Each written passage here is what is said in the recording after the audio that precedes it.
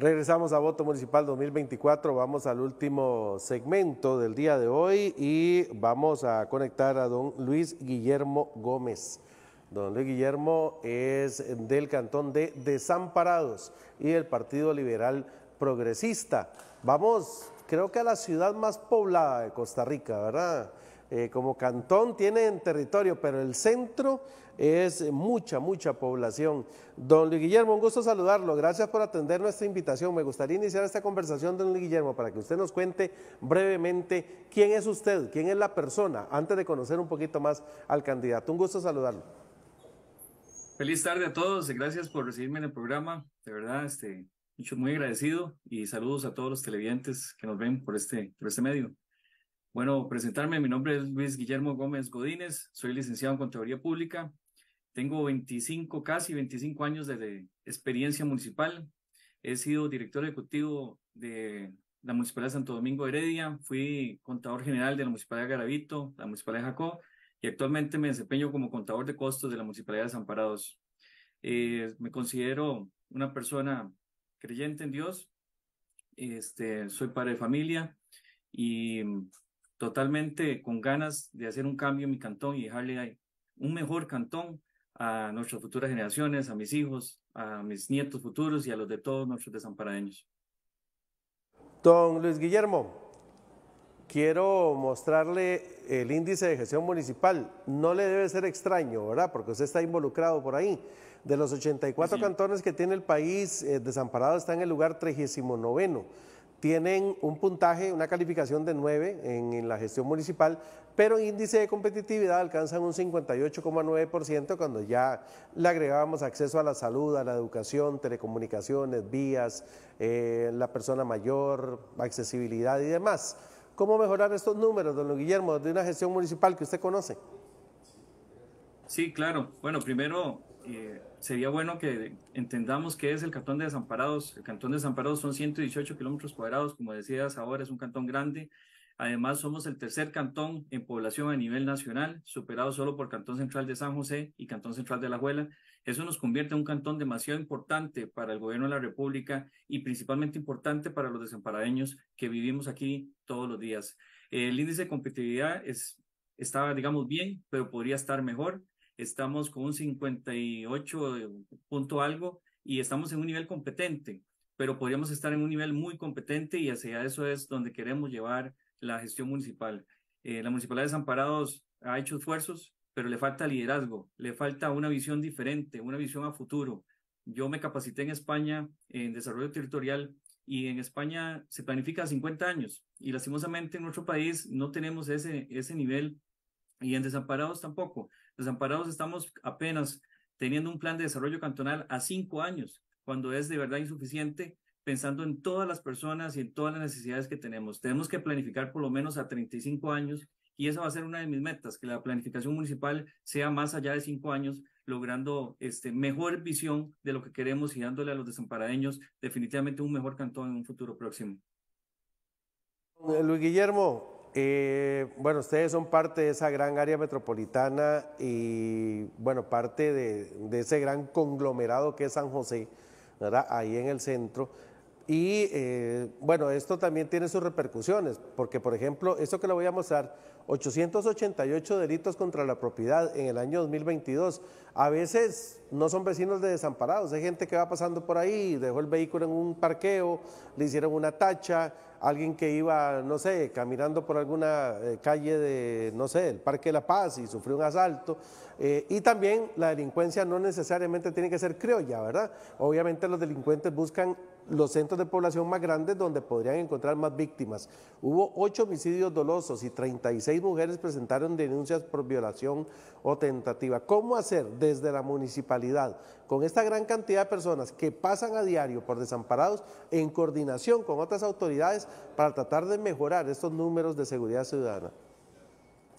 Sí, bueno, el tema de seguridad es un tema, una problemática a nivel nacional y lastimosamente nuestros fuerzas del orden han quedado un poco rezagadas por muy malas políticas a nivel nacional. El caso de Desamparados es que tenemos apenas 16 policías en la policía municipal, es una policía muy pequeña, pero que hace grandes esfuerzos, pero aún así no nos alcanza, ¿verdad? Son 16 apenas policías para todo un cantón. separados en dos turnos, un turno de 6 de la mañana a 2 de la tarde y otro turno de 2 de la tarde a 10 de la noche, pues se hace insuficiente eh, esa cantidad de policías municipales. Tenemos una fuerza pública que también no supera los 300 efectivos en desamparados para un cantón de casi 300 mil personas.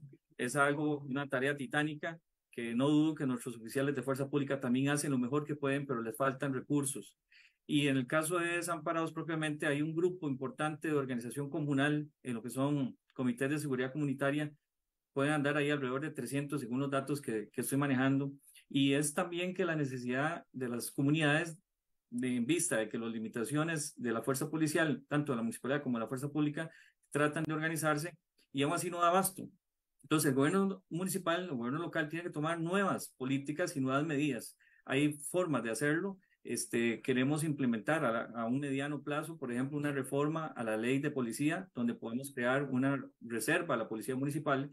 Queremos trabajar de la mano de los comités de seguridad ciudadana, eh, que ya tenemos conformados en el cantón, fortaleciéndole con capacitación, obviamente un centro de monitoreo, porque el que tenemos actualmente es muy, muy deficiente, un centro de monitoreo con cámaras de alta tecnología que puedan grabar eh, caras y que puedan grabar también eh, placas de los presuntos delincuentes que sean tomados en, en el acto.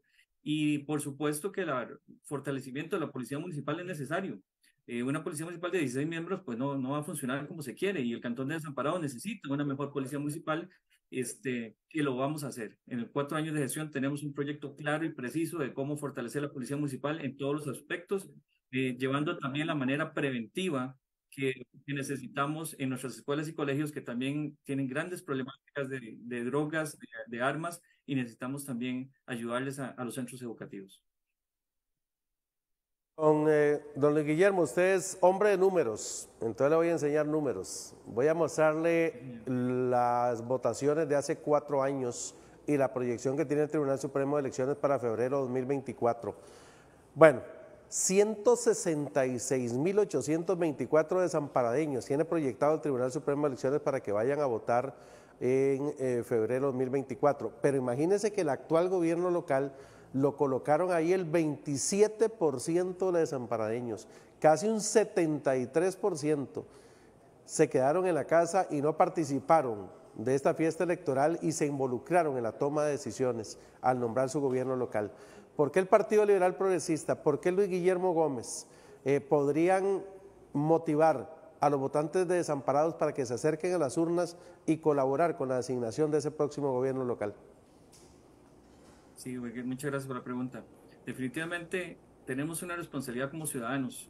Hemos tenido eh, la historia políticos buenos y políticos en la mayoría de los casos en los últimos años muy malos. Y precisamente es porque tenemos una desidia de que son más de lo mismo, de que nunca va a cambiar nada, de que por sí el, voto no cuenta. Y tenemos que convencernos como ciudadanos, y en el caso mío como desamparadeños, pero es un llamado a nivel nacional, de que nuestro voto cuenta, nuestro voto es muy importante las elecciones municipales es lo que más cercano tenemos como ciudadanos de un gobierno, de alguien que nos puede resolver algo en nuestras comunidades y no es algo cualquier cosa, desde la recolección de basura, desde nuestras calles, desde hasta ver la educación de nuestros hijos, de las zonas de parque, de nuestra recreación, de tanto de jóvenes y adultos hasta adultos mayores. Entonces es algo muy valioso que tenemos en la mano y esta elección es fundamental que puede marcar un cambio de paradigma entre los políticos de siempre y la nueva generación que queremos. Y en esa nueva generación, el Partido Liberal Progresista ha sido claro en que quiere el apoyo de la juventud para hacer nuevos cambios, porque la juventud quiere políticas diferentes, necesidades diferentes y necesitamos apoyar ese tipo de cambios. Y en el caso de nosotros propiamente en Desamparados, definitivamente los mueve la sangre nueva, nos mueve un liderazgo, nos mueve querer dejar algo más a nuestras generaciones presentes y futuras. Presentes son los jóvenes que van a elegir eh, en gran masa este, este 4 de febrero y futuras son los niños que ya llevamos hacia arriba.